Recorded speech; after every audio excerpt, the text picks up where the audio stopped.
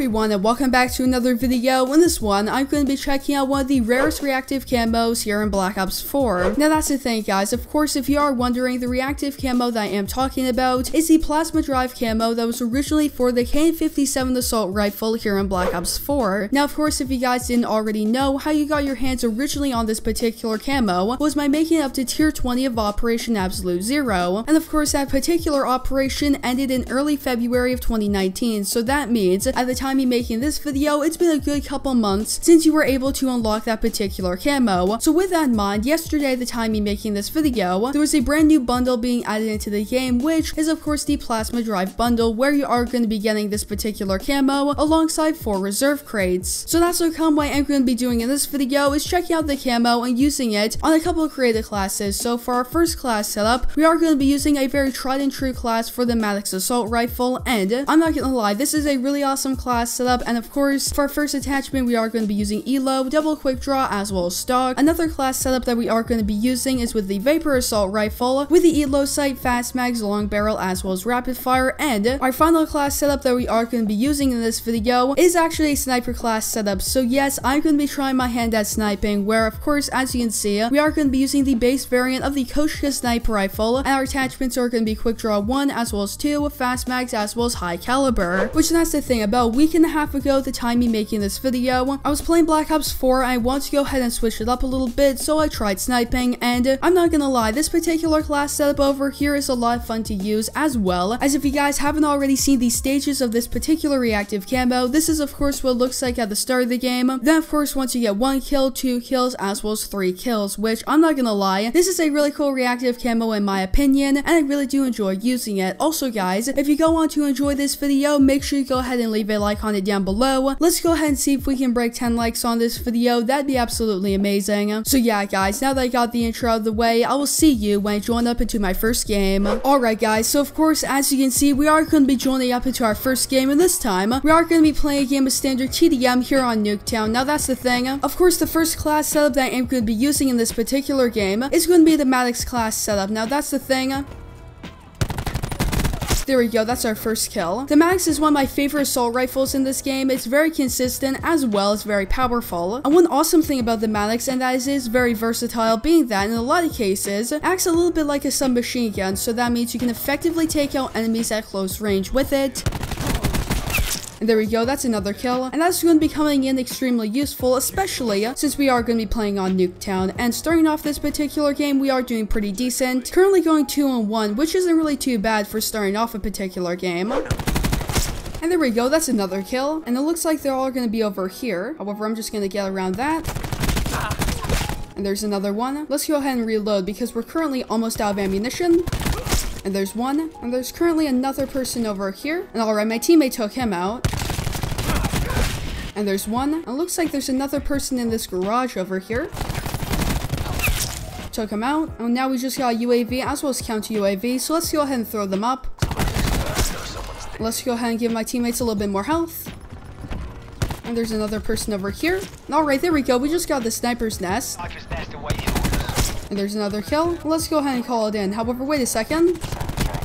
There we go, that's another one. Currently going 13 and 3, which is pretty decent in my opinion. And we're currently on the Merciless, okay. Let's go ahead and throw this down as well. So it looks like the spawns did end up flipping. And there's one. It looks like there are going to be a couple more people over here. And there's one person over here. And my sniper's nest took him out, okay. And yeah, guys, if you would like to, feel free to comment down below. What are your thoughts on this particular reactive camo? Because that's the thing. In my opinion, it's actually one of my favorite reactive camos in the game. It's very intricate as well. As it is very detailed and colorful. So overall, I'm a big fan of this particular camo, however, if you guys would like to, feel free to comment down below what are your thoughts on it. Alright, now it does look like the spawns did end up flipping again, and there might be a person over here. And alright, my sniper's nest took him out, and we just got another UAV as well, as we're currently getting pretty close to our attack 5. So let's go ahead and give my teammates a little bit more health. There's another kill, as well as another one as well as another one, and there's another sniper's nest, okay, let's go ahead and call it in, and that's the thing, they might be on the other side of the map, however, chances are, they are going to be spawning over here, because the spawns did end up flipping again. My sniper's nest is getting quite a few kills, okay, that's pretty awesome. And there's another one, as well as the counter UAV. As well as another one, currently on the Merciless, okay. That's of course the second Merciless of the game. And of course attack 5. And we got another Sniper's Nest, oh my goodness. And there's another two. And it looks like there might be another person over here. However, we have to get around this. And there we go, guys. So, of course, that's going to be our first game. I'm going 46 and 4. Really awesome game, in my opinion. And we completely blew the enemy team right out of the water, being that we won with 100 points and the enemy team only had a combined total of 20 kills. So, yeah, guys, that's, of course, going to be our first game. And we'll see you guys in game number two. Alright, guys. So, of course, as you can see, we are going to be joining up into our second game. And this time, we are going to be playing a game of standard TDM here on Seaside. And, of course, as you can see, we're going to be using the Koshka sniper rifle and there we go, that's our first kill. And this is the first time that I ever made a video on Black Ops 4 where I was sniping, so with that in mind, let's go ahead and see exactly how well we can do. And, not gonna lie, Seaside is actually a pretty decent map to be using the Koshka. And there's another kill.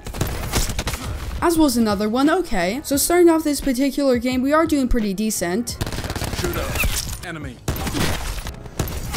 Tango down. Alright guys, so of course as you can see we are going to be joining up into our third game and this time we are going to be playing a game of standard TDM here on Hacienda. Now that's the thing, of course as you can see I am going to be using the Koshka again. Wait a second, there are three of my teammates over here that are AFK, oh my goodness. Alright, there we go, that's our first kill.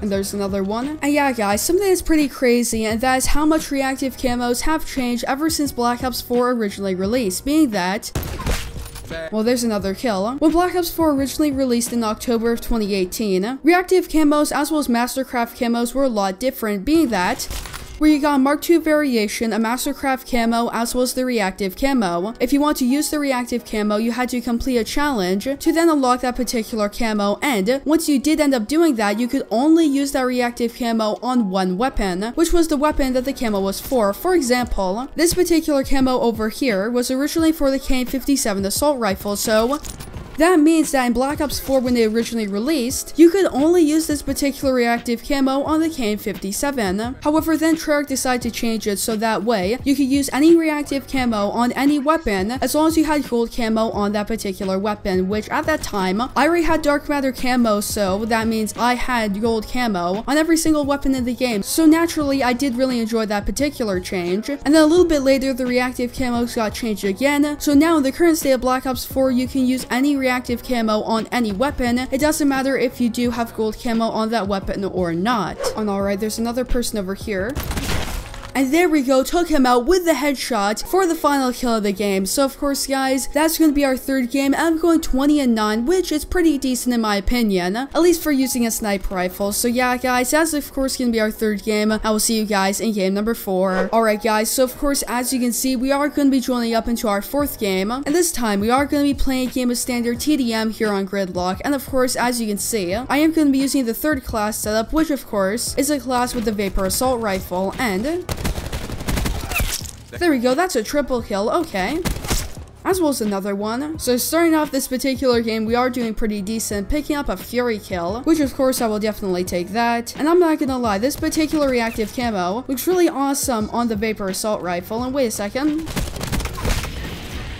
There's one as well as another one. Let's go ahead and call in this UAV as well as counter. And also guys, something that's pretty interesting and that's yesterday the time me making this video, Treyarch did something that was pretty awesome, being that if you do have the Black Ops Pass, first of all, you did get 5 reserve crates as well. No as people that do have the Black Ops Pass also got two times tier boost. So that means if you do have the Black Ops Pass, you are going to be earning tiers twice as fast until May 28th, which I'm not gonna lie, that's pretty awesome in my opinion, eh? and definitely a step in the right direction when it comes to the Black Ops Pass. Alright guys, so of course that's where I'm gonna be ending off this video. I hope you enjoyed it, and if you did, don't forget to leave a like on it down below as well, as make sure to subscribe and turn on post notifications so you guys will not miss new upload from me. So yeah, that's of course gonna be it for this video, and I hope to see you in the next one.